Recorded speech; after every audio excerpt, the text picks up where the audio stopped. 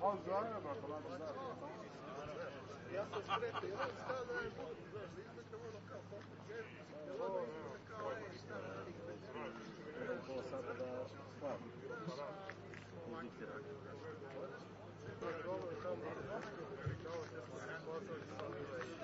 Pazara, eles estão no dogovor sa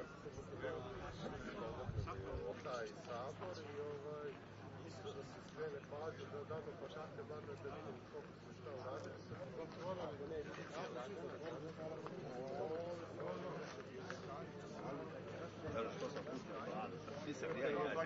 da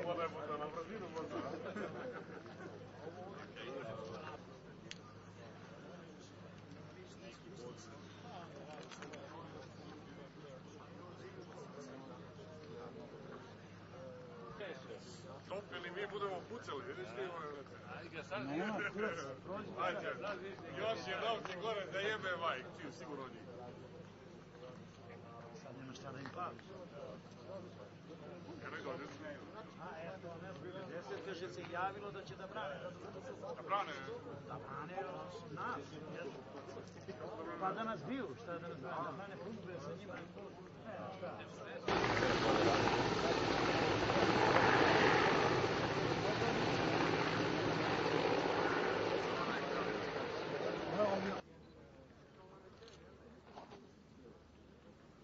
A šta se oni krivi za vojske, nek dođu vamo, policija je to, majko. je.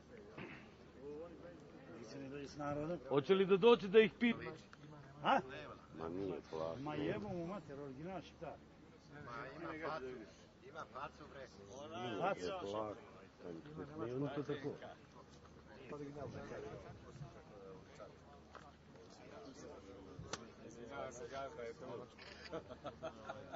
što Šta nije, pa vidi. Ovo je šef facu. Čim kaži,